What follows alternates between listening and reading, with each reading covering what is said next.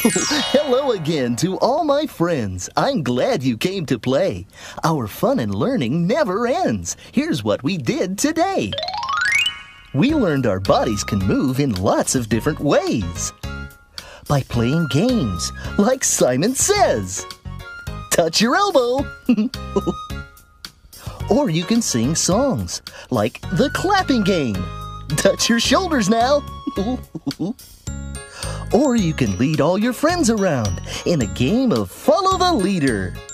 We all can grow big and strong if we take care of our bodies by eating healthy foods, getting plenty of sleep, and exercising. Oh, I love to exercise. Just pretend you're a ballet dancer, dancing all the way across the stage.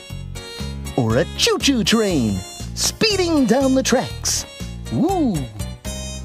Or a soaring airplane flying high up in the sky. Or a galloping horse running like the wind.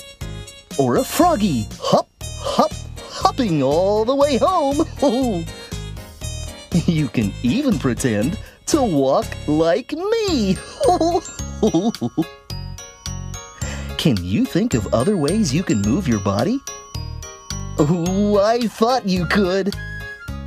Remember to exercise every day to make your bodies big and strong. You're important to me because I love you.